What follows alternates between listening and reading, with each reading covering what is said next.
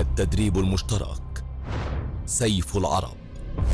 بقاعدة محمد نجيب العسكرية. في المدة من السابع عشر وحتى السادس والعشرين من نوفمبر عشرين عشرين بمشاركة ست دول عربية. جمهورية مصر العربية المملكة العربية السعودية دولة الإمارات العربية المتحدة.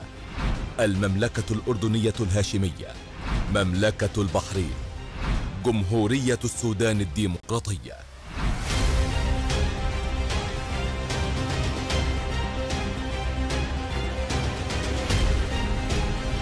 هدف واحد لأمة واحدة.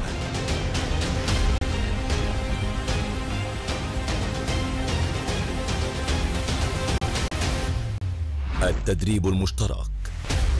سيف العرب.